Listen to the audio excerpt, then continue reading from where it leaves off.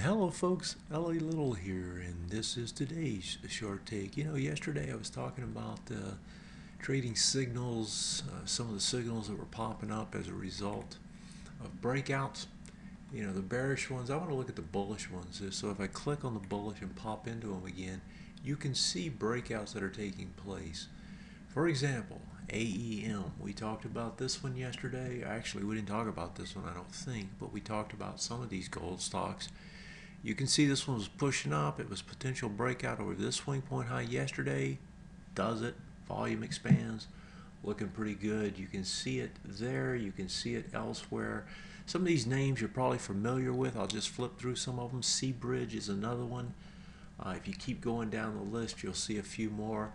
Uh, Sibanye Gold, uh, Limited, and so forth. So we were talking about gold stocks breaking out. They're breaking we got a pullback happening in gold itself today. That should pull some of these back in. Probably makes a setup for you. Take a look at them. Uh, this might not be a bad place to be playing to start the year.